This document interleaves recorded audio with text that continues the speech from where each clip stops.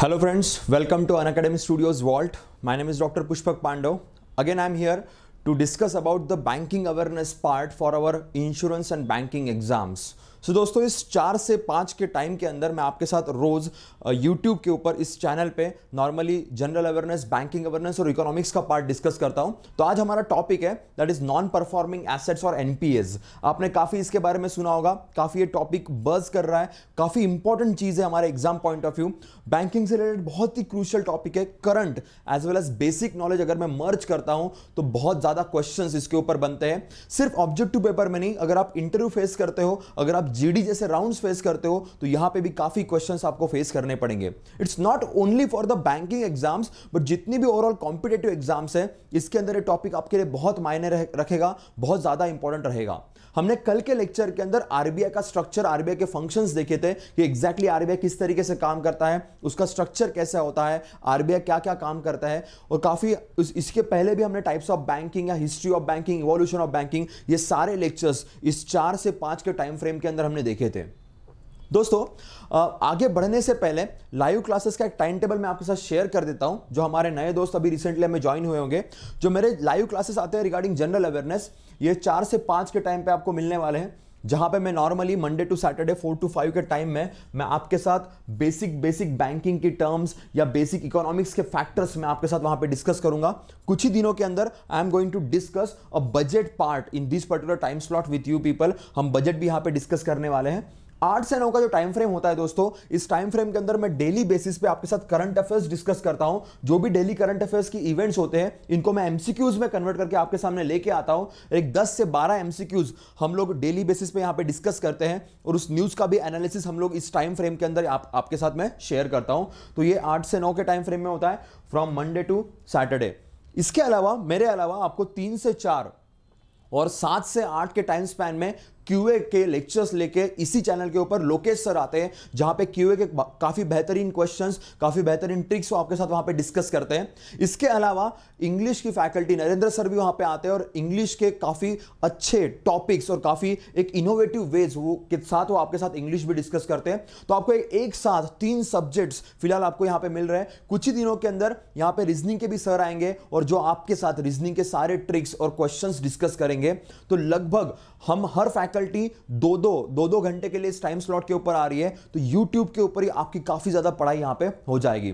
तो ये शेयर कीजिए अपने दोस्तों के साथ, जिनको पढ़ाई करनी जो सीरियस है so they can join this particular YouTube channel जिसका नाम है अन अकेडमी स्टूडियोज वॉल्ट तो उसके तरफ़ ध्यान रखिएगा दोस्तों ओके आगे बढ़ने से पहले, जो हमारा रिचुअल है, थोड़ी बहुत इंफॉर्मेशन मैं अपने अपने बारे में आपके साथ शेयर करता हूँ। You can see over year I did my graduation in dentistry. After that, I have completed my post graduation in economics as well in public administration. And at the same time, I started uh, giving coachings for different different competitive exams, right from the UPSC till the banking exams, as well as some state public service commission exams, near about all over India. But I used to teach for offline classes, and first time with the help of Unacademy Studios, I am in front of you online platform.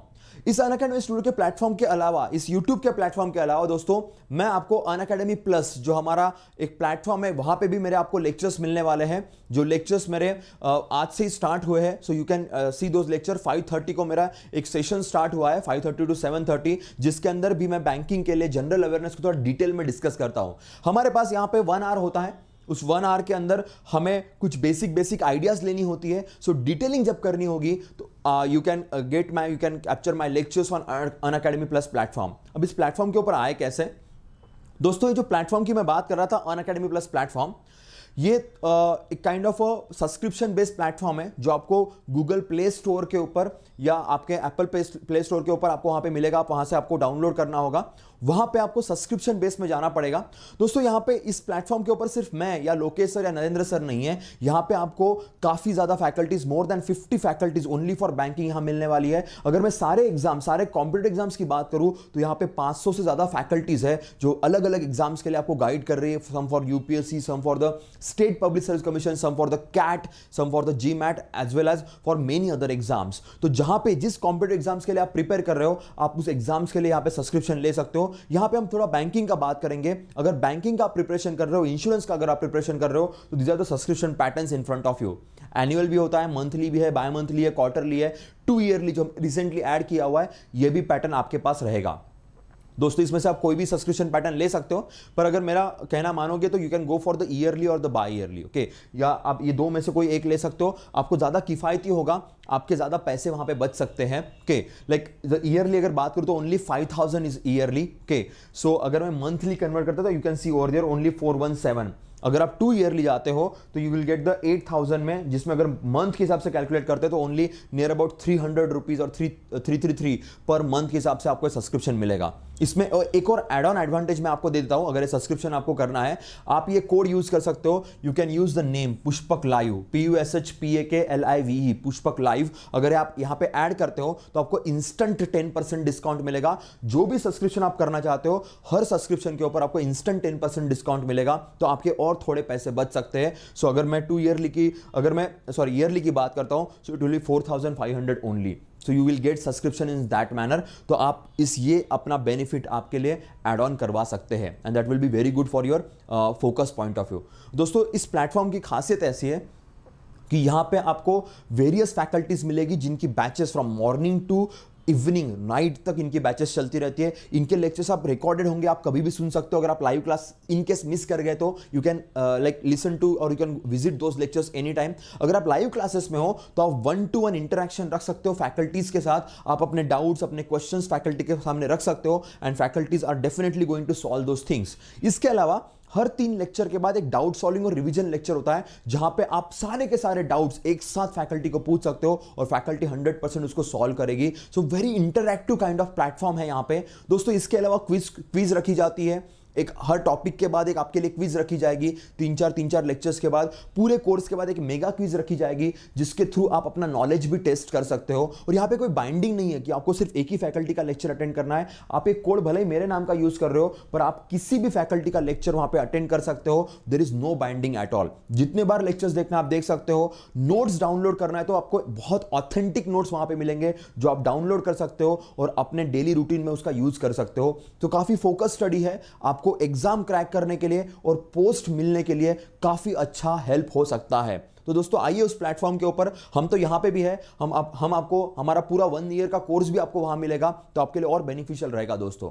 इसके अलावा इसी YouTube channel के नाम पे that is Unacademy studios vault इसी नाम पे हमारा एक टेलीग्राम चैनल है। अगर आप वो टेलीग्राम चैनल भी ज्वाइन करते हो तो वहाँ पे आपको रिसेंट अपडेट्स मिल जाएँगे, किसका लेक्चर आने वाला है, कोई नया नोटिफिकेशन तो नहीं आ गया तो सारे रिसेंट अपडेट्स वहाँ पे मिलेंगे तो आप सोशल नेटवर्किंग के थ्रू आप कंटिन्यूस कॉन्टैक्ट में भी हो सकते हो। अगर आप सपोज़ प्लस में नहीं आ पाए या प्लस का क्लास मिस कर गए तो फिर भी आप हमसे कम्युनिकेशन कर पाओगे, आप हमसे कॉन्टैक्ट में रह सकते हो उस प्लेटफॉर्म के थ्रू ऑल्सो क्योंकि यूट्यूब या अन में प्लस के ऊपर एक पर्टिकुलर टाइम फ्रेम में आना पड़ेगा मैसेज डालना पड़ेगा। बाकी टाइम शायद आप कम्युनिकेट नहीं कर पाओ तो इसके लिए हमने एक टेलीग्राम चैनल बना के रखा है अन अकेडमी स्टूडियोज वॉल्ट तो वहाँ पे भी विज़िट कीजिएगा, वहाँ पे भी काफ़ी अच्छी इंफॉर्मेशन आपके साथ शेयर की जाएगी। आप भी अपने इनपुट्स वहाँ पे डाल सकते हो so will be very good interactive platform तो जितने भी प्लेटफॉर्म्स बना के रखे हुए, उसका फ़ायदा उठाइए दोस्तों, ये आपके लिए स्पेसिफिकली आपके लिए बना के रखे, ताकि आप जल्द से जल्द अपना ड्रीम पोस्ट कैप्चर कर पाए। तो आइए, इसके ऊपर हम प्रॉपरली डिस्कस कर सकते हैं। ओके दोस्तों, चलो आगे बढ़ते हैं। Now we are going to discuss about the NPA non performing asset अब जो हमारे दोस्त काफ़ी दिनों से पढ़ाई कर रहे हैं, इनको इसके बारे में काफ़ी अच्छी इंफॉर्मेशन होगी बट थोड़ी बहुत ना इंफॉर्मेशन डिटेल में नहीं हो पाती है। तो आज मैं डिटेलिंग आपके लिए करूँगा कि exactly NPA non performing asset क्या होता है। इसके क्राइटेरियाज क्या है? इसका क्लासिफिकेशन क्या है? इसके वजह क्या है? किस रीजन से ये एनपीए बढ़ जाता है? और एनपीए बढ़ने से प्रॉब्लम्स क्या हो सकती है? ये भी पार्ट हम देखेंगे। इसके अलावा गवर्नमेंट और आरबीआई ने एनपीएस कम करने के लिए क्या क्या स्टेप्स लिए over the period of time 1990 से लेकर अभी तक क्या क्या स्टेप्स ली गई है एनपीए को कम करने के लिए? सारी स्टेप्स मैं इस लेक्चर के अंदर आपके साथ डिस्कस करूँगा। अगर टाइम फ्रेम हमें कम होता है तो मैं इसी लेक्चर को कल भी कैरी फॉरवर्ड करूँगा, पर एनपीए हम प्रॉपरली स्टडी करने वाले हैं because it's a very very important part इसी एनपीए के भरोसे आगे कुछ दो तीन लेक्चर्स बहुत डिपेंडेंट रहेंगे। There is something called Basel norms जो स्टूडेंट्स काफ़ी दिनों से पढ़ रहे हैं, उन्होंने शायद इसके बारे में सुना होगा। There is something called Basel norm Basel नाम की एक जगह है स्विट्जरलैंड में। जहाँ पे इंटरनेशनल एक अथॉरिटी है इंटरनेशनल बैंकिंग अथॉरिटी है, जिनके साथ मिलके वर्ल्ड की सारी सेंट्रल बैंक्स ने मिलकर कुछ नॉर्म्स बना के रखे हैं, वो नॉर्म्स भी हमें डिस्कस करने पड़ेंगे एक्जैक्टली exactly वो क्यों होते हैं, किस पर्पज से होते हैं। But before that we have to understand this हमें इसको अंडरस्टैंड करना पड़ेगा भाई एनपीए होता क्या है नॉन परफॉर्मिंग एसेट क्या होता है। अब जो हमारे नए दोस्त हैं, पहले मैं उनके लिए बात कर लेता हूँ। दोस्तों, सबसे पहले आपको पता होना चाहिए what is the meaning of an asset asset का मीनिंग क्या है? दोस्तों बैंकिंग में दो टर्म बड़ी कॉमन होती है। Assets and liabilities okay now liabilities means आपकी जिम्मेदारियाँ, जो आपकी जिम्मेदारियाँ, जो आपकी निभानी पड़ेगी। एसेट मीन्स ऐसी चीज़ जो आपको रिटर्न में कुछ देने वाली है। अगर मैं इंग्लिश डिक्शनरी मीनिंग की बात करूँ तो लाइबिलिटी मीन्स मेरी जिम्मेदारियाँ हो गई है, जो मेरे ऊपर बर्डन है, जो मुझे निभाना पड़ेगा ओके okay? और एसेट मीन्स ऐसी चीज़ है, जो शायद मुझे रिटर्न में कुछ दे सके, मुझे बेनिफिट करवा सके। अब जब मैं बैंकिंग स्ट्रक्चर के अंदर एंटर करता हूँ तो लाइबिलिटी का मतलब क्या बन जाएगा? दैट इज़ डिपॉजिट्स के काफ़ी लोगों ने इसके बारे में सोचा होगा। यस डिपॉजिट्स जो हम बैंक के पास डिपॉजिट रखते हैं, वो बैंक की लाइबिलिटी बन जाती है। बैंक को वो डिपॉजिट संभाल के रखने पड़ेंगे और डिपॉजिट्स टाइम के ऊपर वापस करने पड़ेंगे इंटरेस्ट के साथ। वो उनकी लाइबिलिटी होती है। एसेट क्या रहेगा? दोस्तों बैंक यही डिपॉजिट आगे किसी को लोन पे देता है। जब लोन पे बैंक किसी को देगा तो उसके ऊपर इंटरेस्ट रेट चार्ज करेगा और जो फिर वापस जो लोन वापस आएगा, वो उनका एसेट बन जाएगा। तो याद रखिएगा, जो लोन बैंक बांटती है, वो बैंक्स का एसेट बन जाएगा और जो डिपॉजिट्स बैंक्स रखती है, वो उनकी लाइबिलिटी बन जाएगी। तो एसेट एंड लाइबिलिटी ये दो चीज़ें हैं। अभी लाइबिलिटी को थोड़ा साइड में रखते हैं एसेट की बात करते हैं। ओके दोस्तों, अब ध्यान दीजिए। सपोज़ मैंने किसी को लोन दे दिया और लोन से मैं एक्सपेक्ट ये कर रहा था कि भाई सपोज़ मैंने किसी को दो लाख का लोन दे दिया दस परसेंट इंटरेस्ट रेट के ऊपर ओके अब मैं एक्सपेक्ट कर रहा था कि ये दो लाख रुपए वापस आएँगे प्लस दस परसेंट इंटरेस्ट रेट वापस आएगा तो मैं दो लाख जिससे लिए थे उसको वापस करूँगा, पाँच परसेंट इंटरेस्ट रेट उनको दे दूँगा, बचाओ पाँच परसेंट जो इंटरेस्ट रेट है, वो मेरा रहेगा तो आपको एसेट मिल रहा है, उस लोन की वजह से आपका इनकम हो रहा है, आपको कुछ गेन हो रहा है। बट सपो सपोज़ वो लोन वापस ही नहीं आया।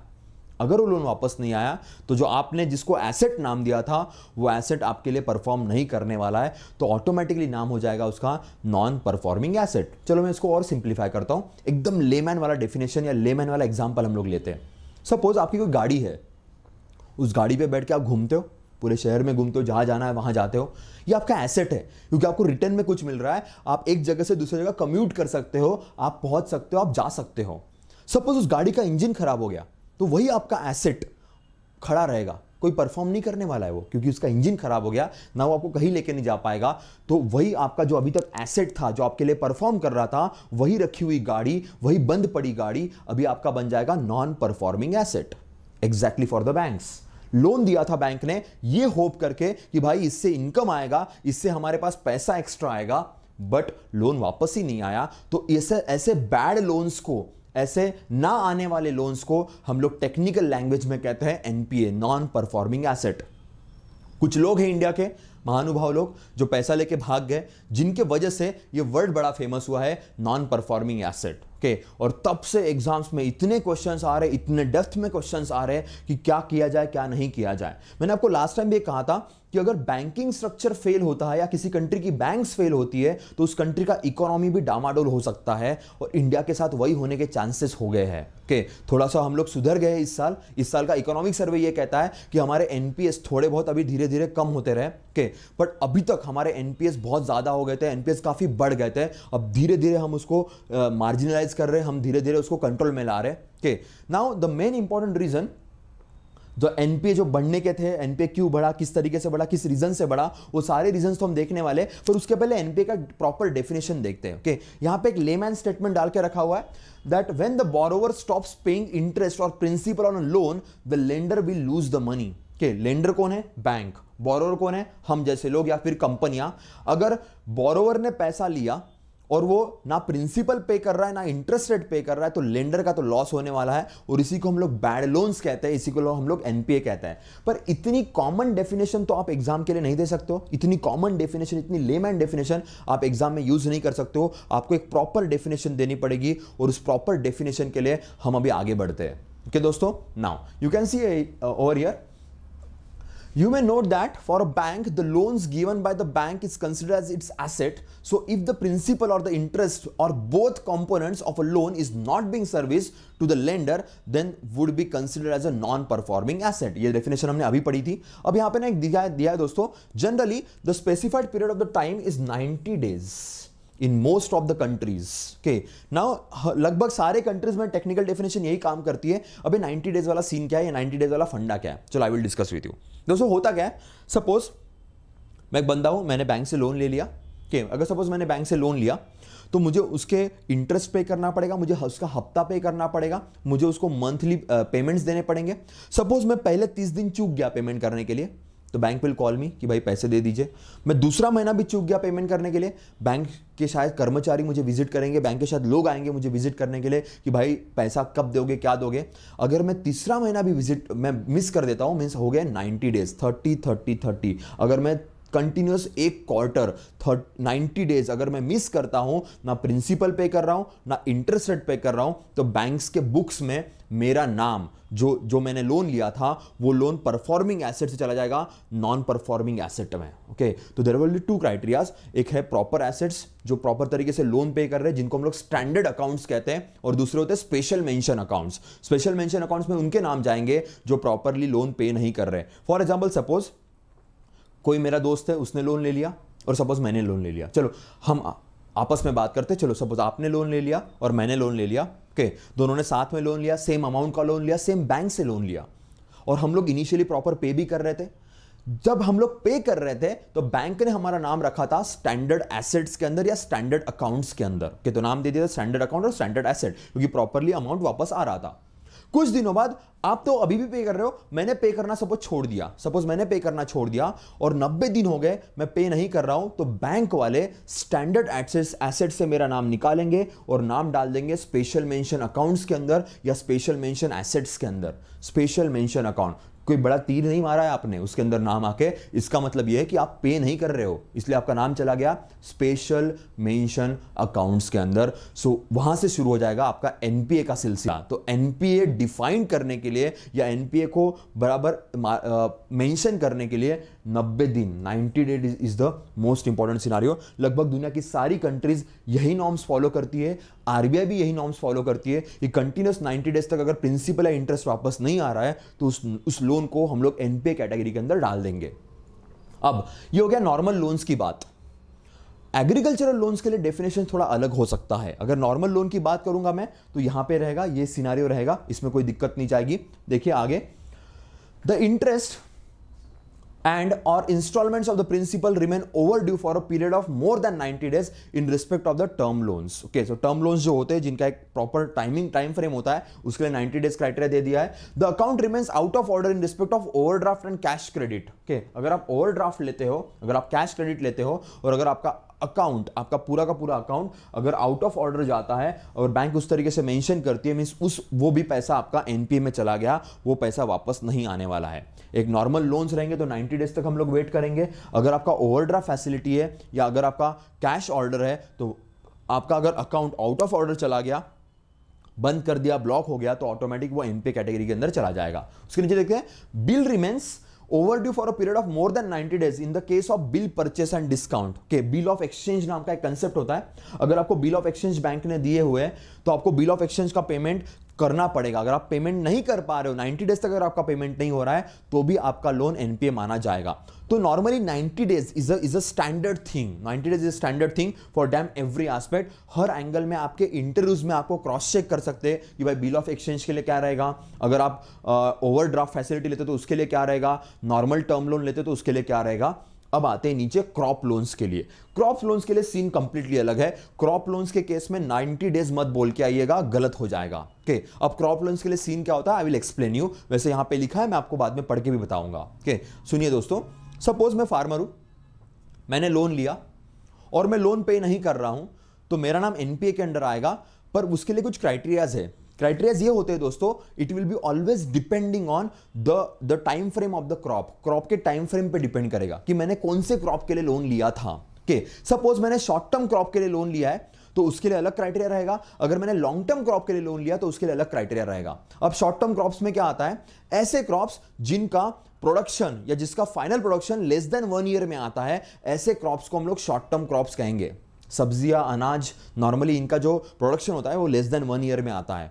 नॉर्मली फ्रूट्स जो होते हैं लाइक ऑरेंजेस देन मैंगोज या sugar cane it will take one year और more than one year so जो वन ईयर और मोर देन वन ईयर लेते हैं, उनको हम लोग कहेंगे लॉन्ग टर्म क्रॉप्स और जो लोग जो जो crops less than one year लेते हैं, उनको हम लोग कहेंगे शॉर्ट टर्म क्रॉप्स सपोज़ मैं फार्मर हूँ, मैंने शॉर्ट टर्म क्रॉप के लिए लोन लिया है तो बैंक मेरा वेट दो सीज़न करेगी. सपोज़ मैंने किसी क्रॉप के लिए लोन ले लिया और क्रॉप छह महीने में आता है। वो छह महीने के अंदर वो क्रॉप का छह महीने में प्रोडक्शन आ गया। अगर मैंने लोन पे नहीं किया तो बैंक कुछ नहीं करेगी। बैंक कहेगी, ठीक है, चलो, कोई नहीं, आपको एक और चांस मिलेगा। तो और छह महीना बैंक मेरे लिए वेट करने वाली है मीन टू क्रॉप सीज़न अगर मैंने किसी ऐसे क्रॉप के लिए लोन लिया, जो तीन महीने में आता है तो तीन महीना अगर मैं नहीं पे किया, ठीक है, चलेगा। मुझे और तीन महीने दिए जाएँगे मीन्स मुझे दो सीजन्स मिलने वाले हैं। So they are going to wait for two season दो सीज़न वेट करेंगे। अगर दो सीज़न के बाद भी मैं लोन पे नहीं करता हूँ तो मेरा लोन जाएगा एनपीए कैटेगरी के अंदर नॉन परफॉर्मिंग एसेट ये हो गया शॉर्ट टर्म क्रॉप के लिए।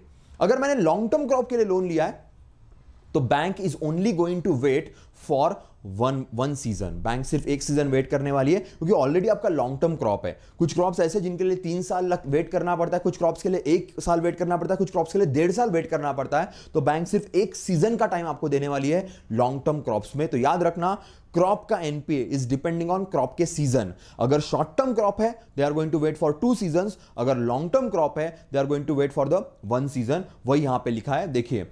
Two crop season for short term duration and one crop season for long term duration crops and that is the criteria mention over here तो वो आपको याद रखना पड़ेगा। यहाँ पे थोड़े बहुत घुमा फिरा के क्वेश्चन आते हैं। जो हमारे दोस्त एसओ का एग्ज़ाम देना चाहते हैं, जो हमारे दोस्त एग्रीकल्चर ऑफिसर्स का एग्ज़ाम देना चाहते हैं, उनको बहुत बार ये क्वेश्चन फेस करने पड़ते हैं और वो टाइम पे बहुत लोग गलती करके आते हैं। बहुत लोग ना एनपीए ऊपर ऊपर में पढ़ लेते हैं कि हाँ भाई हमें एनपीए आ जाता है एनपीए का क्लासिफिकेशन भी देख लेते हैं, पर एनपीए में सबसे इंपॉर्टेंट चीज़ है ये कि किस, कौन से लोन के लिए एनपीए किस तरीके से डिफाइन किया जाएगा, ये बहुत क्रूशियल पॉइंट है। और आज की डेट में इसके ऊपर काफ़ी क्वेश्चन आ रहे हैं तो ये पॉइंट अच्छे से याद रखेगा यहाँ पर कोई गलती नहीं होनी चाहिए। ओके दोस्तों, चलो आगे बढ़ते हैं। Now, the amount of liquidity facility remains outstanding for more than 90 days in respect of securitization transaction undertaken in terms of guided securitization. Okay, normally uh, bonds issue किए जाते हैं उसके बारे में यहाँ पे बात की है यहाँ पे भी derivatives की बात की है यहाँ पे भी bonds की बात की है यहाँ पे भी 90 days ही wait करेंगे मैंने कहा था लगभग लगभग हर जगह 90 days का wait किया जाएगा when it comes to agriculture loans वहाँ पे थोड़ा सा definition अलग रहेगा तो गलती मत कीजिएगा will be very crucial for you किसी भी घुमा फिरा के क्वेश्चन पूछ लिया एग्रीकल्चर छोड़ के तो 90 डेज़ मार्क करके आइए। एग्रीकल्चर पूछा है तो आपको अच्छे से पता है अभी कि क्या आंसर मार्क करना है। ओके दोस्तों, चलो आगे बढ़ते हैं। Now, categorization of NPA. ये एनपीए कैटेगरीज है।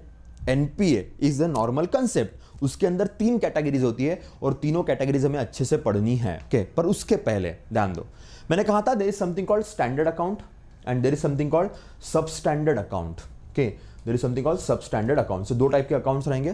के अब sub standard accounts are also called as a special mention account मैंने स्टार्टिंग में इसका नाम लिया था आपके लिए स्पेशल मेंशन अकाउंट ओके अब ध्यान दीजिए एनपीए एक कैटेगरी है, बड़ी कैटेगरी उसके अंदर अलग अलग स्टेप्स रहेंगी. ओके वो अलग अलग स्टेप्स कैसे होती है, मैं आपके लिए डिफाइन करता हूँ प्रॉपर तरीके से. अगर आप प्रॉपरली लोन पे कर रहे थे तो आपका नाम कहाँ रहेगा? स्टैंडर्ड अकाउंट्स के अंदर, क्योंकि आप प्रॉपरली पे कर रहे थे।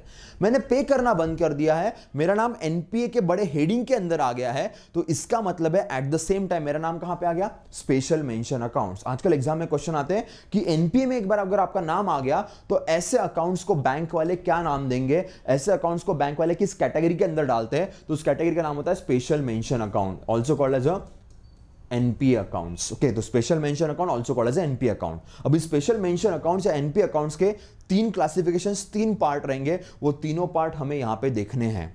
जैसे 90 दिन हो गए, मैं पे नहीं कर रहा हूँ तो मेरा नाम आएगा स्पेशल मेंशन कैटेगरी के अंदर। उसी को हमने नाम दे दिया एनपीए काफ़ी बड़ा नाम दे दिया। अब उसके अंदर पहली कैटेगरी रहेगी, जिसके अंदर मेरा नाम आएगा, उसको हम लोग कहते हैं सब स्टैंडर्ड एसिड्स अभी तक आप स्टैंडर्ड थे, अभी आप क्या बन गए? सब स्टैंडर्ड ओके स्पेशल मेंशन भले ही नाम होगा, पर आप सब स्टैंडर्ड कैटेगरी के अंदर आ गए। अब जैसे आप सब स्टैंडर्ड कैटेगरी के अंदर आते हो 90 दिन के तुरंत बाद आप आओगे सब स्टैंडर्ड कैटेगरी के अंदर तो वहाँ पे बैंक आपका 12 महीने वेट करने वाली है। 12 months they are going to wait wait करते हैं कि भाई बंदा वापस कर दे, बंदा वापस कर दे। अगर बंदे ने पैसे वापस कर दिए उसके बीच में, उसके टाइम फ्रेम के बीच में तो आपका नाम यहाँ से निकल के वापस आएगा स्टैंडर्ड के अंदर। तो आपको 12 महीने का चांस दिया जाएगा इस कैटेगरी के अंदर जिसका नाम है सब स्टैंडर्ड एसेट अगर 12 महीने तक भी आपने पे नहीं किया तो आपका प्रमोशन होगा और आपका प्रमोशन होगा यहाँ पे डाउटफुल एसेट अब बैंक वाले आप पे डाउट लेंगे। अब बैंक वाले सोचेंगे कि भाई, अब ये पे नहीं करने वाला है तो देर विल बी डाउट पर डाउटफुल कैटेगरी के अंदर भी बैंक वाले आपका 12 महीने वेट करने वाले हैं। यहाँ पे भी 12 महीने वेट किया था। उसके बाद फिर से आपका 12 महीने वेट करेंगे, फिर से आपका एक साल वेट करेंगे डाउटफुल के अंदर। अगर उसके बीच में भी अगर आपने पे कर दिया तो आप आ जाओगे स्टैंडर्ड में। नहीं पे किया तो आप डाउटफुल से आगे आपका प्रमोशन होने वाला है और उसको हम लोग कहते हैं लॉस एसेट्स अब बैंक आपसे सारी होप्स सारी उम्मीदें छोड़ने वाली है और जिसको हम कहेंगे लॉस एसेट्स देखिए, ये बैंक्स के क्लासिफिकेशन है। हो ऐसा रहा था कि जब आप पे कर रहे थे तो आप स्टैंडर्ड थे आप पे नहीं कर रहे तो हमने उनको नाम दे दिया एनपीए नब्बे दिन के बाद आपका नाम दे दिया एनपीए एनपीए को ही दूसरा नाम है स्पेशल मेंशन अकाउंट इसके अंदर जो पहली सब कैटेगरी है, उसमें आपका नाम जाएगा और वो सब कैटेगरी का नाम है स्टैंडर्ड एसेट यहाँ पे 12 महीने बैंक वाले आपका वेट करेंगे स्टैंड सब स्टैंडर्ड एसेट के अंदर कि भाई 12 महीने में आप कभी ना कभी पे करोगे। अगर आप उन 12 महीनों में आपने पे नहीं किया तो आपका नाम सब स्टैंडर्ड से निकल के आगे के पेपर में जाएगा और उस पेपर का हेडिंग रहेगा that is called doubtful assets यहाँ पे भी बैंक वाले एक साल वेट करने वाले हैं। अगर आप फिर भी नहीं पे करते हो तो आपका नाम आगे बढ़ेगा और आपका नाम जाएगा लॉस एसेट्स में। तो लगभग बैंक वाले दो साल, नब्बे दिन आपका वेट कर रहे हैं। फिर भी आप पे नहीं करोगे तो भाई बैंक्स को तो भूलना पड़ेगा पैसे।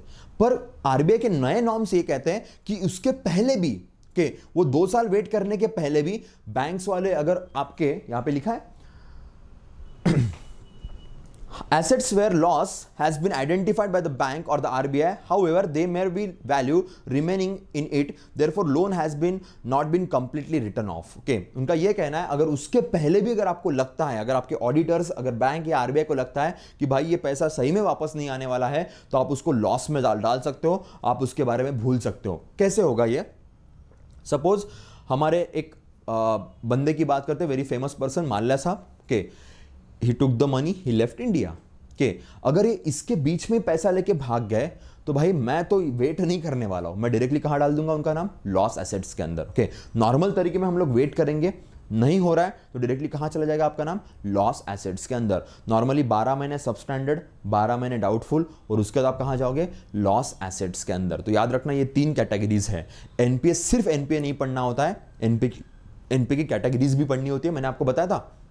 एनपी अलग अलग चीज़ों के लिए अलग अलग तरीके से रहेगा उसके बाद आपको कैटेगरीज भी पढ़नी पड़ेगी और ये उसका क्लासिफिकेशन है, जिस तरीके से एनपीए को हम लोग डिवाइड करने वाले हैं या उसको हम लोग लाइक उसका डिवीज़न हम देखने वाले हैं sub standard asset doubtful assets and the loss asset and which is the most important scenario इसके ऊपर एग्ज़ाम में काफ़ी क्वेश्चन आते हैं ओके? देखिए यहाँ पे लिखा है an asset which remains as NPA for less than और equal to twelve months that is the first point an asset which remains in the above category for twelve months okay यहाँ twelve months यहाँ twelve months and after that the asset will be called as a loss assets याद रखना NPA also called as a special mention account उसकी पहली category ये है, और दूसरी कैटेगरी ये है and third category is like this okay so इस तरीके से सिनारियो जाएगा। ठीक है? चलो, आगे बढ़ते हैं। नाउ एक नया पार्ट है। नया पार्ट नहीं एक्चुअली पुराना ही पार्ट है, पर इसके ऊपर क्वेश्चंस नए तरीके से आना शुरू हो गया। Gross NPA net NPA okay अब एक ग्रॉस एनपीए नेट एनपीए क्या होता है? जैसे आपका नाम एनपीए लुक देखो, अब मैं ना फिर से उस एग्जांपल पे आता हूँ, जो एग्जांपल हम, हमने आपस में डिस्कस किया था। आप पे कर रहे थे, मैं भी पे कर रहा था। कुछ अमाउंट तो मैंने पे किया हुआ है ओके अब जब बैंक लोन देती है किसी को तो उस लोन के ब्याह में थोड़ा सा पैसा ना साइड में निकाल के रखते हैं, उसको हम लोग प्रोविजनिंग कहते हैं। थोड़ा सा पैसा साइड में निकाल के रखा जाता है, क्योंकि थोड़ा बहुत डाउट थोड़ा बहुत रिस्क तो होता ही है तो हम थोड़ा सा पैसा साइड में निकाल के रख देंगे ओके कुछ पैसा मैंने वापस भी किया था। बट जैसे ही मेरा नाम एनपीए में आएगा, जब ग्रॉस एनपीए होता है तो ना वो टाइम पे हम लोग साइड में निकाला हुआ पैसा, या मैंने पे किया हुआ पैसा, वो लोग कैलकुलेट नहीं करते, वो ओवरऑल लोन को कैलकुलेट करते हैं। तो ग्रॉस एनपीए जो रहेगा, वो आपका बहुत बड़ा दिखने वाला है।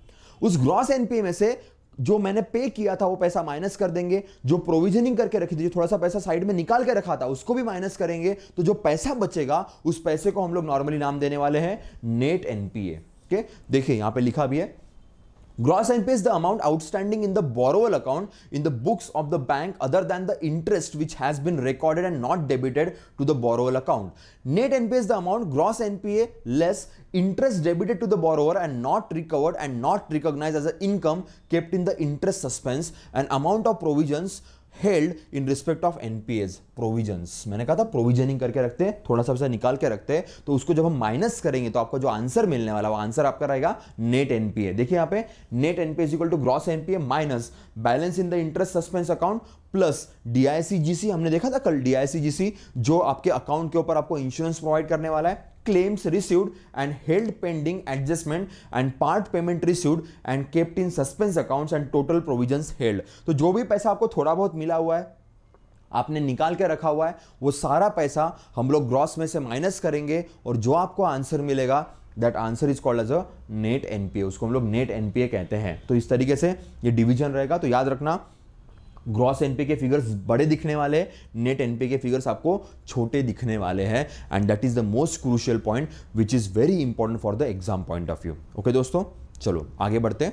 Now reasons for NPA NPA के रीजंस बहुत हो सकते हैं। There are many reasons for the NPA एक होता है विलफुल डिफॉल्टर आपके पास पैसे पर आप देना ही नहीं चाहते हो। जैसे मान साहब को हम लोग विलफुल डिफॉल्टर कहते हैं कि थे पैसे but he was not ready to give the money तो ये विलफुल डिफॉल्टर आएँगे। सपोज़ आपने लोन लिया और बहुत बड़ा बिज़नेस फेल्यूर हो गया तो आप पे नहीं कर पाओगे। वो एक आपका बहुत बड़ा फेल्यूर रहेगा। दूसरा मार्केट ही कोलैप्स हो गया, पूरा का पूरा मार्केट कोलैप्स हो गया। आप बिजनेसमैन अच्छे थे, आप पर्सन भी अच्छे थे, पर पूरा का पूरा मार्केट ही कोलैप्स हो गया। अब आपका बिज़नेस भी लॉस में जाएगा तो you are not able to pay that many amount okay farmer की बात करेंगे, अगर मानसून अच्छा नहीं आया, बारिश अच्छी नहीं आई तो बेचारा फार्मर कहाँ से पे करेगा? समटाइम्स बैंक्स की भी गलती होती है ऑपरेशनल ऑपरेशनल रिस्क भी होती है, जिनके वजह से आपका एनपीए बढ़ सकता है। तो लेट्स सी क्या क्या लिखा हुआ है?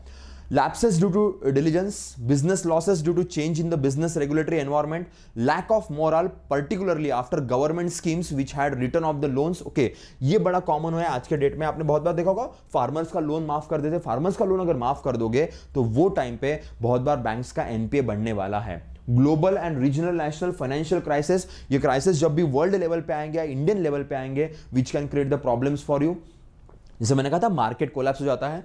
The general slowdown in the entire economy, for example, 2011, there was a slowdown in Indian economy which resulted in the faster growth of NPA. Actually, 2011 के बाद इंडिया का एनपीए बहुत ज़्यादा बढ़ गया ये प्रॉब्लम इंडिया में बहुत ज़्यादा बढ़ गई। 2011 के टाइम पे ग्रीस क्राइसिस हुए थे यूरोपियन क्राइसिस हुए थे जो हमारे दोस्त काफ़ी दिनों से पढ़ रहे होंगे उनको अच्छे से पता होगा there was huge European crisis after those European crisis Indian companies भी काफ़ी लॉस में गई और उन कंपनीज़ लॉस में जाने की वजह से वो अपना लोन नहीं रिपे कर पाए और जिसकी वजह से ऑटोमेटिक क्या बढ़ गया हमारा? एनपीए नॉन परफॉर्मिंग एसेट हमारा बढ़ गया और जो हमारे लिए बड़ी दिक्कत वाला प्रॉब्लम था। That is the happen over here okay in slowdown in a specific industry segment and therefore companies in the area bear the heat and some may become the NPAs okay?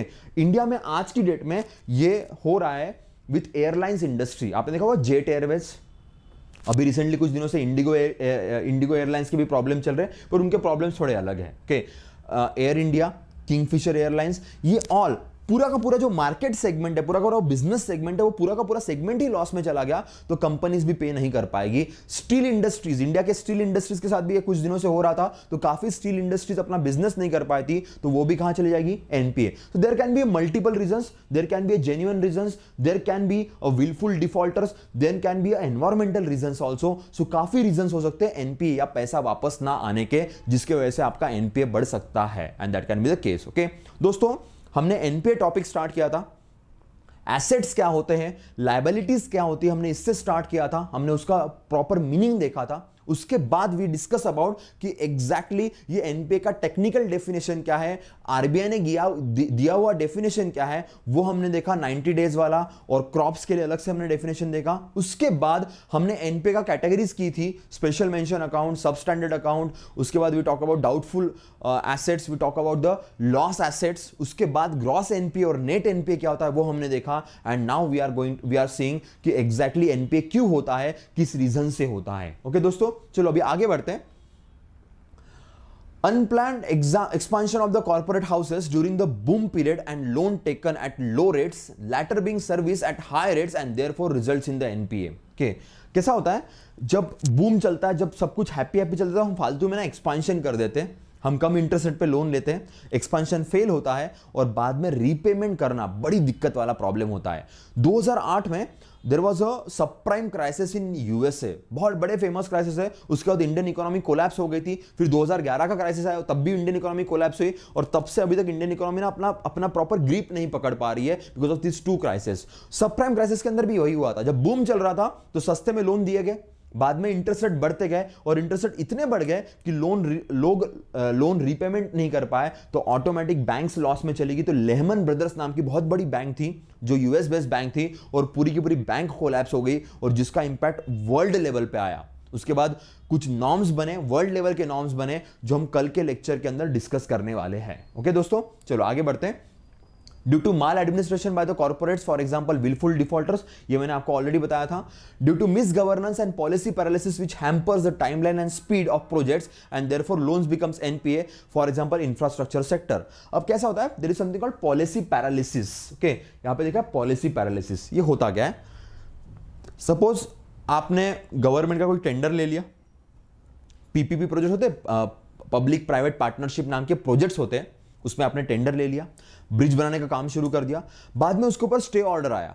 अब जब bridge बनाने का काम आपने शुरू किया था, उसके लिए आपने लोन लिया था कि बैंक से आपको लोन सैंक्शन हो गया था कि भाई ठीक है, आपको गवर्नमेंट का टेंडर मिला है, ये लीजिए पैसा, काम शुरू कर दीजिए। मैंने लोन लिया, काम शुरू कर दिया। पर बाद में स्टे ऑर्डर आ गया। अब स्टे ऑर्डर आने के बाद मेरा काम तो लटका पड़ा हुआ है। पर लोन तो लिया था ना मैंने। अब लोन की डेट थोड़ी ना पोस्टपोन हो सकती है, वो तो आगे बढ़ती रहेगी और ऑटोमेटिकली मेरा लोन एनपीए कैटेगरी में आएगा। गलती मेरी नहीं थी।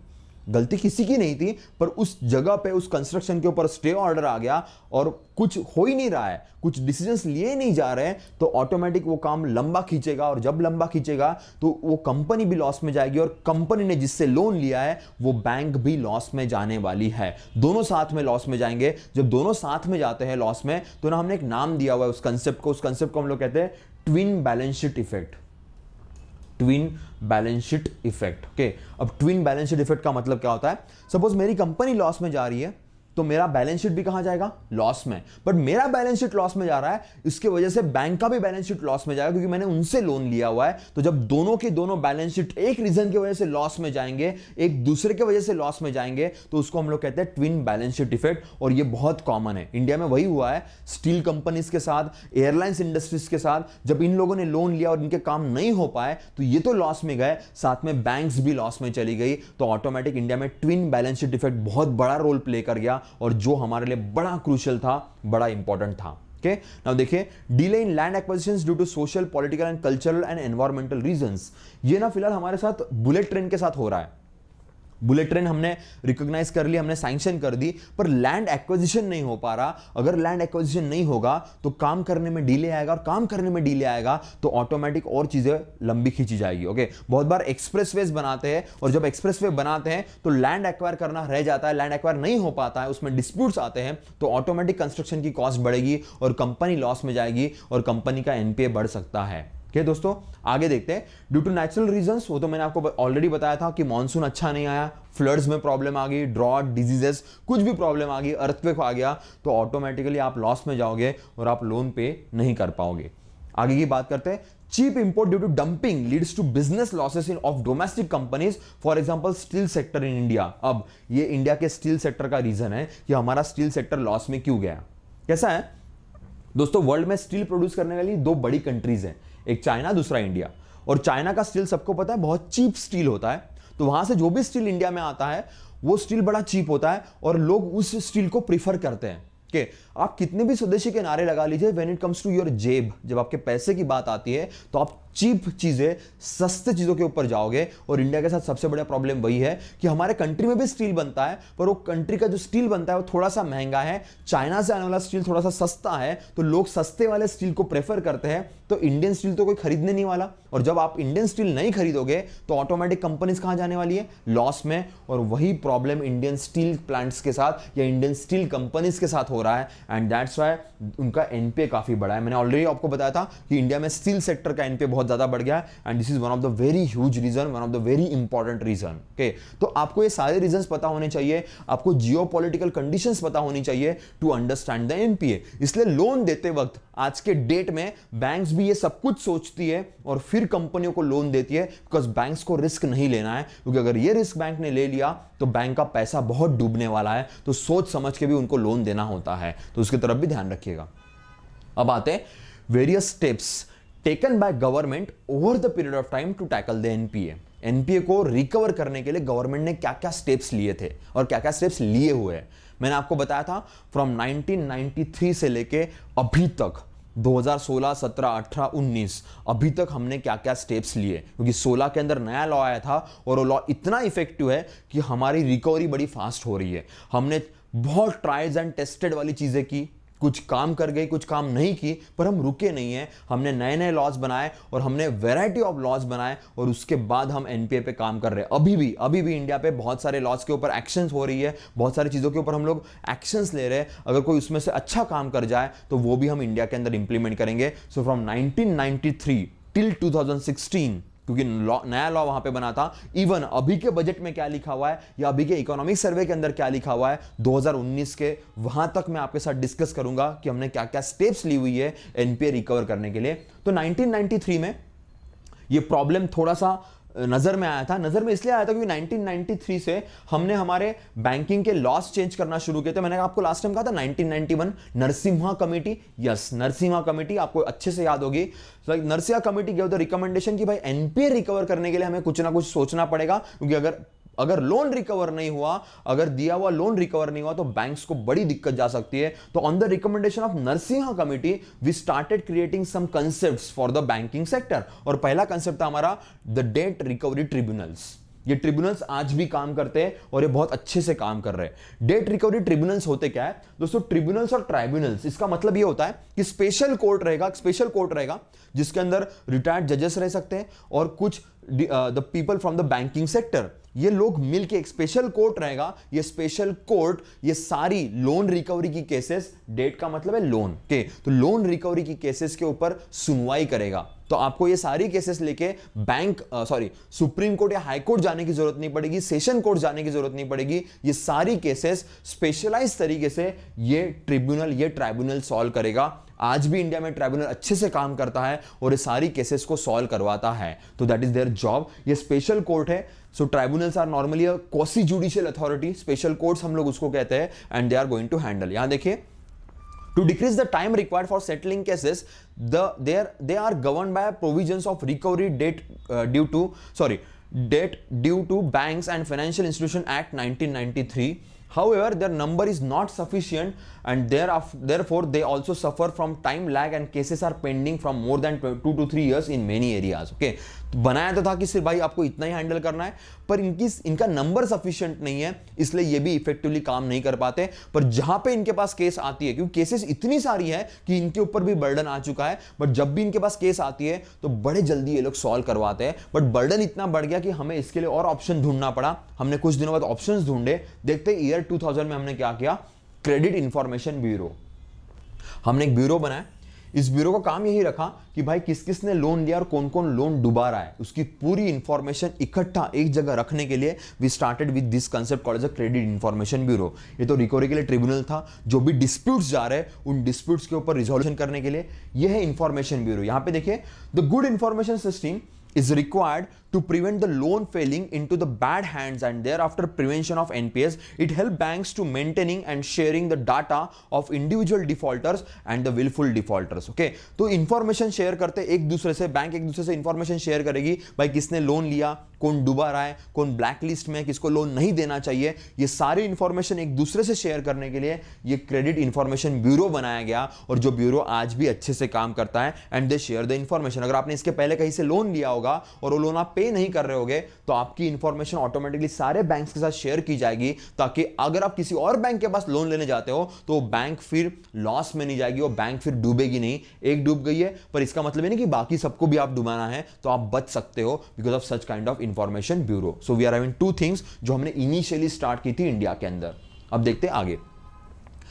कॉम्प्रोमाइज सेटलमेंट 2001 कुछ सेटलमेंट्स आपको आउट ऑफ़ कोर्ट करवाने पड़ेंगे कुछ कॉम्प्रोमाइज सेटलमेंट्स होंगे उनको जल्दी से जल्दी रफा दफ़ा करवाने के लिए वी स्टार्टेड विद दिस देखते हैं इसमें क्या है? It provide a simple mechanism for recovery of NPAs for the advances below 10 crore ये बड़ा इंपॉर्टेंट पॉइंट है कि ये जो कॉम्प्रोमाइज सेटलमेंट एक्ट है 2001 का ये कौन से लोन्स के लिए था? ये ऐसे लोन के लिए था जो द, जो 10 करोड़ से कम के लोन्स है उनको जल्दी से जल्दी सॉल्व करवाने के लिए we started with this act तो याद रखना ये 10 करोड़ से कम ये बड़ा क्रूशियल पॉइंट है ये बड़ा इंपॉर्टेंट पॉइंट है.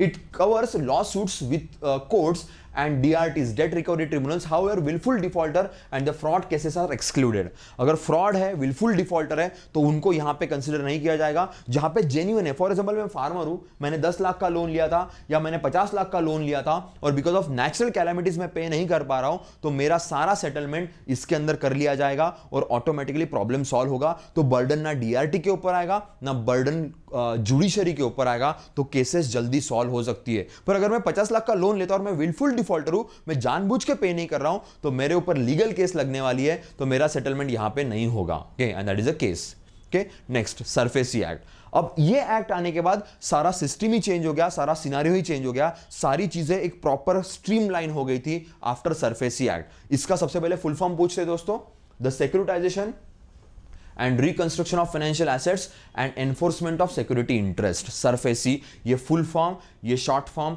अच्छे से याद रखना। 2002 में हमने एक्ट बनाया था। इस एक्ट के अंदर ये लिखा गया है securitisation and reconstruction of financial assets and enforcement of security interest इसका मतलब क्या होता है? जो भी फाइनेंशियल एसेट्स हैं इनको सिक्योर करना, इनको रिकंस्ट्रक्ट करना। रिकंस्ट्रक्ट का मतलब है लोन वापस नहीं आ रहा तो हमें तरीका ढूंढना पड़ेगा कि भाई इससे भी इनकम वापस आ सके। तो हमें एसेट्स को सिक्योर करना पड़ेगा, उनको रिकंस्ट्रक्ट करना पड़ेगा और ज़रूरत पड़ी तो एनफोर्समेंट ऑफ़ सिक्योरिटी इंटरेस्ट हमें कुछ लॉज इंप्लीमेंट करने पड़ेंगे, हमें कुछ स्ट्रिक्ट डिसीजंस लेने पड़ेंगे ताकि जो दिया हुआ लोन है, वो वापस आ सके और वहाँ से हमारे पास इनकम आ सके। 2002 में ये लॉ बनाया 2003 से इस लॉ ने काम करना शुरू किया और उसके बाद इंडियन बैंकिंग सिस्टम सिस्टम का सीन ही चेंज हो गया। इस लॉ के अंदर हुआ क्या है? हमने बैंक्स को पावर दे दिए कि भाई आप रिकवरी करना शुरू कर दीजिए। आपको ना डीआरटी के पास जानी, जाने की ज़रूरत है, ना आपको जुडिशरी के पास जाने की ज़रूरत है। You can start recovering your own money जो बेसिक बेसिक जो है, कोई गिरवी रखता है लोन लेते वक्त? तो जो आपने गिरवी रखी हुई चीज़, आप बेचिए, आप उनका ऑप्शन करवाइए और वहाँ से लोन रिकवर करना शुरू कीजिए। इनको हेल्प करने के लिए हमने ए बनाए थे asset reconstruction companies asset reconstruction company ये कंपनीज़ क्या करती है? कुछ कंपनीज़ बैंक्स के अंदर ही काम करती है, कुछ आउटसोर्सिंग भी करवाई जाती है। इन कंपनीज़ का काम ही ये होता है कि जो लोन वापस नहीं आ रहे, उनको रिकंस्ट्रक्ट करो, उनके लिए तरीका ढूंढो कि भाई उनसे पैसे कैसे कमाया जाए, उनसे इनकम कैसे कमाया जाए। तो वो ए वाले लोग होते हैं। नॉर्मली वसूली वाले सिस्टम आपने देखी होगी? ये नॉर्मली इसी के अंडर काम करता है। ओके चलो देखते हैं। the act permits banks financial institutions to recover their NPS without the involvement of court मैंने कहा था आपको कोर्ट में जाने की जरूरत नहीं पड़ेगी through acquiring uh disposing Uh, the secured asset in NPA accounts with an outstanding amount of 1 lakh and above, the banks have first issue a notice and then borrowers fail, failure to repay, then they can take ownership of the security, control over the management and appoint a person to manage the concern मैंने कहा था, यहाँ पे सारे decisions bank ले सकती है। Suppose मैंने कार लोन लिया और मैं लोन पे नहीं कर रहा हूँ। के तो under SARFAESI act notice मुझे मिलेगा। नोटिस मिलने के बाद अगर मैं नोटिस को भी रिप्लाई नहीं करता हूँ तो मेरी कार का ओनरशिप बैंक का हो जाएगा। बैंक लेके चली जाएगी। ओके नॉर्मली ऐसा भी हो सकता है। अगर मेरी कंपनी है तो मेरे कंपनी का मैनेजमेंट बैंक के हाथ में आ जाएगा। दे विल हैंडल एवरीथिंग क्योंकि मैंने टाइम पे लोन पे नहीं किया हुआ है। And that can be the case तो सरफेसी के बाद इंडिया का सिस्टम कंप्लीटली चेंज हुआ और थोड़ा सक्सेस मिलना शुरू हुआ। पर सक्सेस ना टाइमिंग तक था। ये सक्सेस इतना अच्छे से नहीं मिल पाया तो हमें और भी लॉस बनाने पड़े। देखते आगे हमने क्या किया।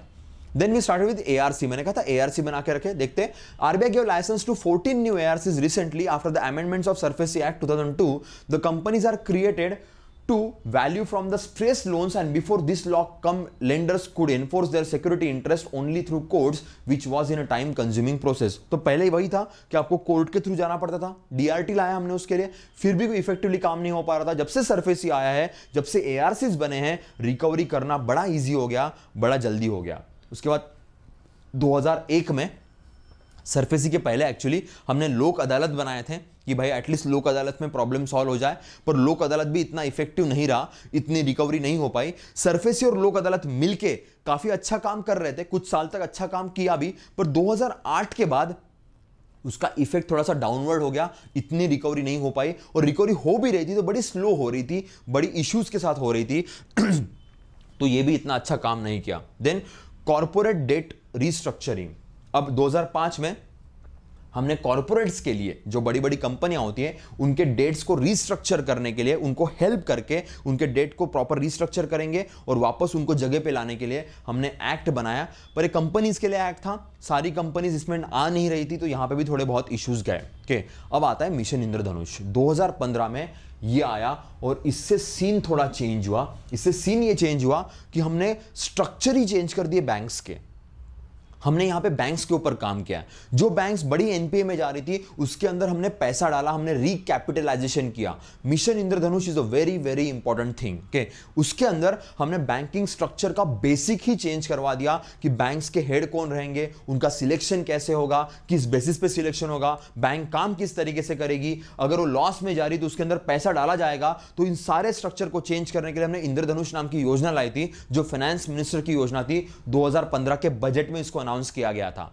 पर यह योजना सारे बैंकों के लिए नहीं थी, ये योजना थी पीएसबीस के लिए पब्लिक सेक्टर बैंक तो पब्लिक सेक्टर बैंक्स को एनपीए के प्रॉब्लम से बचाने के लिए इसको लॉन्च किया गया था और वो उस तरीके से काम करती है। लेट्स सी यहाँ पे देखिए the overall performance by A B C D E F G okay ये क्राइटेरियाज दिए गए थे ओके इन क्राइटेरियाज के थ्रू ओवरऑल परफॉर्मेंस बैंक का चेक किया जाएगा और उसके हिसाब से काम किया जाएगा। Now A stand for appointment मैंने कहा था जो बैंक के जितने बड़े बड़े लोग हैं एमडी सीओज इनका अपॉइंटमेंट कैसा होगा? अपॉइंटमेंट कौन करेगा? इस चीज़ से लेके तो उनके एनपीए के प्रॉब्लम को सॉल्व करने तक सारी चीज़ें मिशन इंद्रधनुष के अंदर आती है। You can see over based upon the global best practices and as per the guidelines in the companies act the separate post of chairman and managing director and CEO will get the designation of MD and CEO and there would be another person appointed as a non executive chairman of the PSBs तो हमने नई post create की, हमने नए लोग बिठाए ताकि banks के फंक्शनिंग में कोई दिक्कत ना आए और कोई चीटिंग ना करे। दूसरा bank board bureau the BBB will be the body to eminent professional and the officials which will replace the appointment of the boards of the appointment of the whole time directors तो इनके जो appointments है, यहाँ पे जो main authority जो काम करेगी, इनको सिलेक्ट करने के लिए ये ब्यूरो बनाया गया उस ब्यूरो का नाम रखा बैंक बोर्ड ब्यूरो तो याद रखना अपॉइंटमेंट के ऊपर तो हमारी कड़ी नज़र है, पर अपॉइंटमेंट भी कौन करेगा? अपॉइंटमेंट करने के लिए हमने एक ब्यूरो बनाया उस ब्यूरो का नाम रखा bank board bureau so A और बी तो हमारा हो गया। इसके थ्रू ये काम करेंगे। अब देखते हैं सी कैपिटलाइजेशन मैंने कहा था, जो बैंक्स ऑलरेडी लॉस में उनके अंदर हमें पैसा डालना पड़ेगा।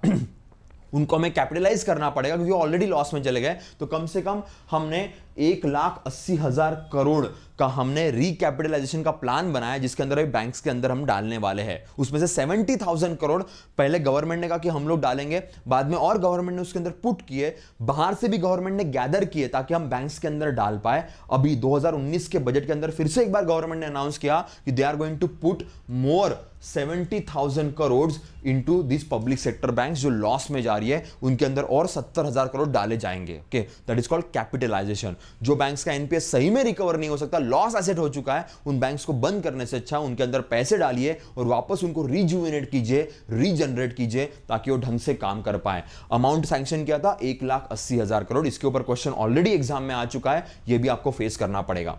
डिस्ट्रेसिंग डिस्ट्रेसिंग का मतलब वही होता है कि अभी पैसे डाल दिए, बोर्ड चेंज कर दिया, नए एमडी सीओ बिठा दिए, अभी बैंक्स को डी स्ट्रेस करते, जो भी स्ट्रेस बैंक अभी तक फेस कर रही थी, उस स्ट्रेस को धीरे धीरे धीरे धीरे कम करते हैं, उनके एनपीएस के प्रॉब्लम धीरे धीरे सॉल्व करते जाते हैं और नया प्रॉब्लम ना आए, इसके ऊपर भी हम लोग फोकस करेंगे college D stressing E for employment government of India said there will be no interference from the government and banks are encouraged to take independent decisions, keeping in mind of the commercial and organizational structure. तो उनका यह कहना है कि इसके बाद banks के जो एम्प्लॉयज़ सिलेक्ट किए जाएँगे, उसके लिए गवर्नमेंट कोई प्रेशर नहीं देगा। बैंक को जिस तरीके से एम्प्लॉयज़ को अपॉइंट करना है, आप कीजिए। जिस तरीके से एम्प्लॉयज़ को प्रमोट करना है, आप कीजिए। जिस तरीके से एम्प्लॉयज़ को मेंटेन करना है, आप कीजिए। इसमें गवर्नमेंट इंटरफेयर नहीं करेगा। आपने देखा होगा, बहुत सारी बैंक्स की एग्ज़ाम सेपरेट हो चुकी है। बहुत बहुत बार बड़ी बड़ी पोस्ट के लिए अलग अलग पोस्ट के लिए बैंक अपनी इंडिविजुअल इंडिविजुअल एग्ज़ाम लेता है, उसमें गवर्नमेंट का कोई से नहीं रहेगा। गवर्नमेंट उसके लिए उनको खुली छूट दी गई है कि आपको जिस तरीके से एम्प्लॉयज़ को लाना है एम्प्लॉयज़ को सिलेक्ट करना है, आप उस तरीके से कर सकते हो। Next is framework of accountability चलो दोस्तों एमडीसीओ की बात हो गई। डायरेक्टर्स के लिए बैंक बोर्ड ब्यूरो बनाया, पैसे डाल दिए डिस्ट्रेसिंग करवा दिया एम्प्लॉयज़ के सारे हा, काम दे दिए। अब इतना सब अगर आपके लिए किया तो अकाउंटेबिलिटी तो बनती है। तो आपको अभी आपको अकाउंटेबल होना पड़ेगा आरबीआई को अभी आपको अकाउंटेबल होना पड़ेगा गवर्नमेंट ऑफ़ इंडिया को कि भाई अब बताइए आप कैसे कैसे काम कर रहे हो, किस तरीके से काम कर रहे हो, जो भी काम करोगे, उसके लिए आपको अकाउंटेबल रहना पड़ेगा। Next governance reforms again reforms की बात करेंगे क्योंकि स्ट्रक्चरिंग गलत थी, काम करने का तरीका गलत था एनपीएस को रिकवर करने का तरीका गलत था तो सारी चीज़ों के लिए आपके ट्रांसपेरेंसी लाई जाएगी रिफॉर्म्स लाए जाएँगे, आपको ई गवर्नेंस में लाया जाएगा सो आपका गवर्नेंस कंप्लीटली ट्रांसपेरेंट होना चाहिए, इसके ऊपर यहाँ पे काम किया गया। ओके नेक्स्ट दोस्तों S D R that is called strategic debt restructuring okay अब जितना भी डेट है, जितना भी लोन वापस नहीं आ रहा है, इसको स्ट्रैटेजिकली रिस्ट्रक्चर किया जाएगा। स्ट्रैटेजिकली रिस्ट्रक्चर करने का मतलब क्या होता है? सपोज़ फॉर एग्ज़ाम्पल कोई रईस बंदा है, उसने लोन वापस नहीं किया तो उसका जो घर है, वो घर आपके पास आ गया। Okay okay? पर उसका घर बड़ा आलिशान है। We can convert that in to hotel also hotel में कन्वर्ट करके वहाँ से एक्स्ट्रा मनी अर्न कर सकते इसको बेचेंगे तो शायद कोई ना खरीदे, क्योंकि बहुत महँगा घर था। इतना महँगा घर खरीदने के लिए लोग भी बड़े कम अवेलेबल होते हैं। तो क्यों ना उसको होटल में कन्वर्ट करे, इसको किसी लॉन्च में कन्वर्ट करे या किसी और मॉल में कन्वर्ट करे, ताकि उससे और एक्स्ट्रा पैसे आ सकते हैं। तो आपको स्ट्रैटेजिक रिस्ट्रक्चरिंग करनी पड़ेगी। आपको इस तरीके से रिस्ट्रक्चरिंग करनी पड़ेगी कि शायद आपको एक्स्ट्रा अमाउंट मिल सके। तो आपको थोड़ा सा स्मार्ट होना पड़ेगा इन चीज़ों के अंदर and that is called strategic restructuring okay next is asset quality review जो भी एसेट जो भी लोन आपने बांटा, उसकी क्वालिटी आपकी बार बार रिव्यू की जाएगी बार बार चेक की जाएगी कि सही में। सपोज़ फॉर एग्ज़ाम्पल अभी मैंने स्टील कंपनी को लोन दे दिया तो अभी स्टील बिज़नेस अच्छा चल रहा है।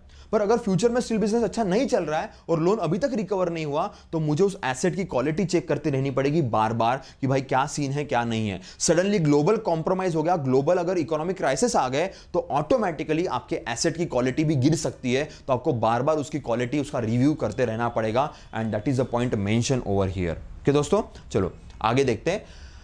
नाउ एस फोर ए 2016 में रघुराम राजन साहब आरबीआई के गवर्नर थे and he come up with this criteria called sustainable structuring of stress asset हमने देखा था स्ट्रेटेजिक स्ट्रक्चरिंग इसी को हमने कन्वर्ट किया और हमने नाम रखा sustainable structuring of stress asset sustainable structuring का मतलब है कि आपको स्ट्रेस एसेट को इस तरीके से स्ट्रक्चर करना पड़ेगा कि वो सस्टेनेबल रहे, वो लॉन्ग टर्म तक चले। मैंने कहा था होटल में कन्वर्ट करना या किसी बिज़नेस में कन्वर्ट करना can be the good option क्योंकि वो सस्टेनेबल रहेगा लॉन्ग टर्म चलेगा और वहाँ से पैसा रिकवर होते रहेगा। या सपोज़ कोई कंपनी है, वो कंपनी को बंद करना या उसकी प्रॉपर्टी बेचना ऑप्शन नहीं होता है, उसका मैनेजमेंट चेंज कीजिए। मैनेजमेंट में कोई और लोग लेके आइए या आपके लोग बिठाइए या उस बंदे को हेल्प कीजिए मैनेजमेंट अच्छा करने के लिए, ताकि वो कंपनी भी चलती रहे एम्प्लॉयमेंट भी कम ना हो और प्रॉपर तरीके से लोन भी आपका रिकवर हो सकता है। That can be the option so S four A ये आरबीआई का स्ट्रेटेजी था। ओके तो ये हमने इंप्लीमेंट किया था और बाद में पार्लियामेंट ऑफ़ इंडिया ने एक बहुत ही इंपॉर्टेंट लॉ बनाया 2016 में और उस लॉ का नाम है insolvency and bankruptcy code so इस कोड के अंदर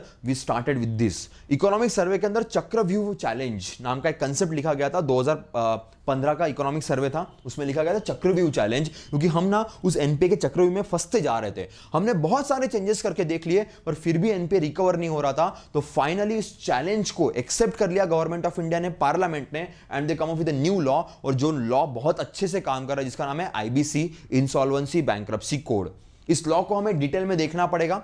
आज के लेक्चर में हमारे पास इतना टाइम नहीं इसको देखने के लिए, पर कुछ वायरल वीडियोस के थ्रू मैं आपके सामने फिर से एक बार आने वाला हूँ और उस वीडियोस में मैं आपके साथ ऐसी योजना या ऐसे लॉस के ऊपर मैं आपके साथ डिस्कस करूँगा कि इंसॉल्वेंसी बैंक्रप्सी कोड क्या होता है नई नई योजनाएँ क्या होती है, इंद्रधनुष योजना में क्या हुआ था, क्या नहीं हुआ था, ये सारे स्ट्रक्चर्स को मैं आपके साथ डिस्कस करूँगा उन वायरल वीडियोज़ में, जो पंद्रह पंद्रह मिनट के आधे घंटे के वीडियोज़ रहेंगे, वहाँ पर मैं आपके साथ आईबीसी फिर से एक बार डिस्कस करूँगा। दोस्तों आईबीसी में हो ये रहा है शॉर्ट में मैं आपको बोल देता हूँ जो कंपनीज़ बैंक हैं, जो इंडिविजुअल बैंक है इंसॉल्वेंट है, उनके ऊपर एक्शन ली जाएगी और कम टाइम फ्रेम में 90 दिन या 180 दिन के अंदर सारे प्रॉब्लम सॉल्व करवा के पैसा रिकवर किया जाएगा।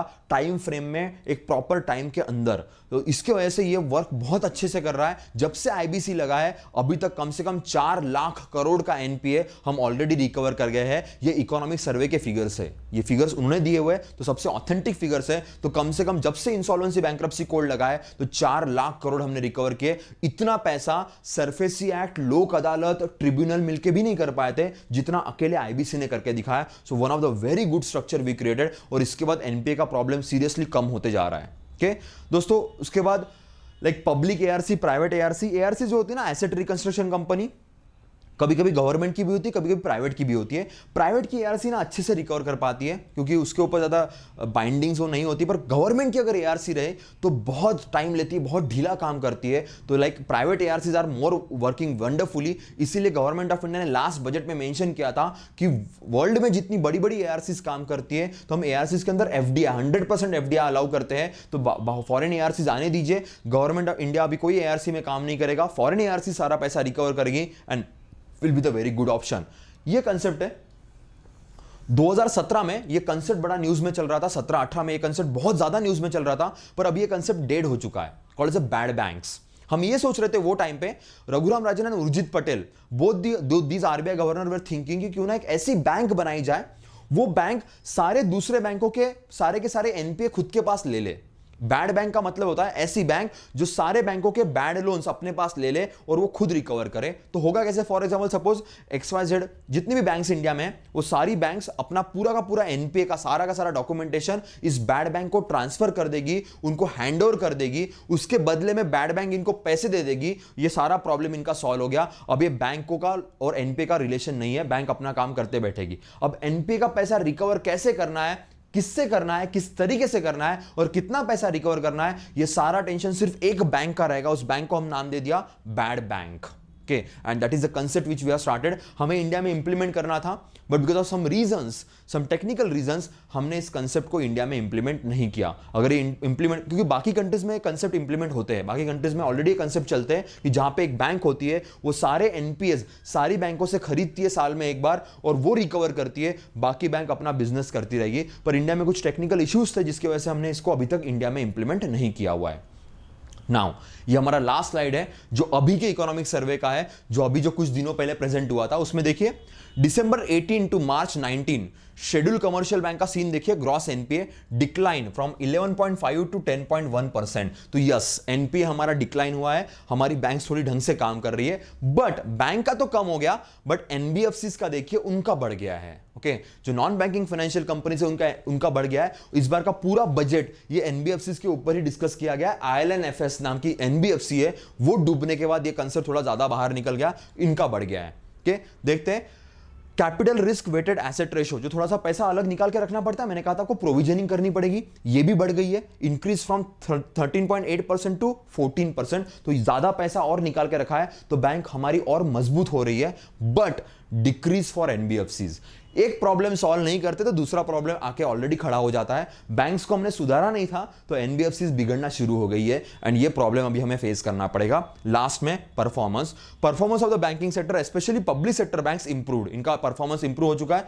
प्राइवेट सेक्टर का ऑलरेडी इंप्रूव ही था ओके okay, बट इनका दिक्कत आ रही है, इनमें इशू आ रहा है। तो जो हम इतने साल से बैंकों को सुधारने की बात कर रहे थे तो बैंक सुधर रही है, कोई इशू नहीं है, सब कुछ प्रॉपर हो रहा है because of IBC insolvency bank board but अभी बिगड़ ये लोग रहे, अभी इनको सुधारने की बारी आ गई। ये लोग बिगड़े तो इनका इंपैक्ट बैंक्स के ऊपर आएगा। क्योंकि होता ऐसा है दोस्तों इंडिया में। इंडिया में बैंक्स जितना लोन नहीं बांटती, उससे ज़्यादा लोन ज़्यादा पब्लिक कम्युनिकेशन ये एनबीएफसी का होता है नॉन बैंकिंग फाइनेंशियल कंपनीज़ का होता है। अगर ये नॉन बैंकिंग फाइनेंशियल कंपनीज़ डूबी तो एनबीएफसी नॉर्मली बैंकों से लोन लेती है। अगर ये डूबे तो बैंक्स भी फ्यूचर में डूबने वाली है। तो हमें इनको बचा के रखना पड़ेगा। और ये हमारा डिसेंट्रलाइज फ़ंक्शन है। ये लोगों से डील करता है, ये कॉमन लोगों से डील करने वाला फ़ंक्शन है। इसलिए इनको बचाना बहुत ज़रूरी है। Now our whole focus is shifted from banks towards NBFC अब इनके तरफ़ हमारा फोकस जा चुका है तो फ्यूचर में हमें इनके बारे में बार बार पढ़ना पड़ेगा। जिन्होंने करंट अफेयर्स के नोट्स पढ़े होंगे तो पिछले दो तीन महीने में एनबीएफसी की न्यूज़ बहुत कंटिन्यूएशन में आ रही है। लास्ट मंथ मई और जून में इतने चेंजेस किए गए हैं एनबीएफसी के रेगुलेशन के ऊपर कि जिसकी हद नहीं है तो इसके ऊपर काफ़ी क्वेश्चन आपको फेस करने पड़ेंगे। मैं कुछ ही, कुछ फ्यूचर लेक्चर्स के अंदर इसके ऊपर भी आपके साथ डिस्कस करूँगा प्रॉपरली जो मेरे करंट अफेयर्स के लेक्चर प्लस के ऊपर चलते हैं, वहाँ पे भी हमने इसको बहुत अच्छे से डिस्कस किया है तो जो लोग नहीं जो लोग अभी तक जुड़े नहीं है तो आप प्लस पे आइए, प्लस के अंदर भी मैं इन सारी चीज़ों के ऊपर डिटेल में डिस्कशन कर रहा हूँ under current affairs module okay so that's all about NPA so we started with NPA NPA कैसे होता है, क्या होता है कैटेगरीज क्या होती है एनपीएस क्यों होते हैं, और बाद में एनपीएस को रिकवर करने के लिए 1993 से लेके अभी तक हमारे पास क्या क्या सिनारियो था, और अभी फ़िलहाल आज की डेट में इंडिया में एनपीएस का सिनारियो क्या है, और क्या सिचुएशन है, ये सारे चीज़ें हमने डिस्कस की है। कल के लेक्चर के अंदर हम लोग बेजल नॉर्म्स देखने वाले हैं, जहाँ पे हम लोग वर्ल्ड या ग्लोबल लेवल पे हम एनपीएस जैसे प्रॉब्लम्स को सॉल्व करने के लिए क्या क्या करते हैं क्या क्या सिनारियोज होते हैं, वो सारी चीज़ें हम लोग कल के लेक्चर में डिस्कस करेंगे। ओके दोस्तों, जाने से पहले आपके लिए रिमाइंडर है प्लस के प्लेटफॉर्म पे आइए। प्लस के प्लेटफॉर्म के ऊपर यही सारी चीज़ें हम लोग बहुत डिटेल में डिस्कस करते हैं। हर करंट एस्पेक्ट को हम लोग डिस्कस करते हैं। सिर्फ़ मैं नहीं रहूँगा, मोर देन 50 फैकल्टीज वहाँ पे है, जो आपको हर सब्जेक्ट के ऊपर डिटेल एनालिसिस देगी, प्रॉपर नॉलेज देगी। अगर आप ये कोड यूज़ करते हो that is P U S H P A K L I V E Pushpak live तो आपको इंस्टेंट टेन परसेंट डिस्काउंट मिलेगा। जो भी सब्सक्रिप्शन आप करना चाहते हो। ये प्लस का प्लेटफॉर्म एक ऐप है। ये ऐप आपको गूगल प्ले स्टोर पे मिलेगा। वहाँ से डाउनलोड कीजिए और you can get the very good services from this particular app काफ़ी अच्छी फैकल्टीज है। वन टू वन आपको इंटरेक्शन वहाँ पे मिलेगा। तो आपको आपका एम अचीव करने के लिए बहुत फ़ायदा हो सकता है। ओके okay, दोस्तों? सो so, ये वीडियो लाइक कीजिए अपने दोस्तों तक पहुंचाइए सब्सक्राइब कीजिए इस चैनल को शेयर कीजिए और आपके जो भी डाउट्स है वो कमेंट सेक्शन में डालिए will be good for our exam point of view okay दोस्तों? तो कल मिलते हैं। वैसे शाम को आठ बजे हमारा करंट अफेयर्स का लेक्चर है ही पर कल इसी चार बजे के सेक्शन में we are going to discuss Basel norms और आठ बजे हम करंट अफेयर्स डिस्कस करते ही है रोज तो वहाँ पे हम करंट अफेयर्स के लिए फिर से एक बार मिलेंगे। ओके दोस्तों? Thank you very much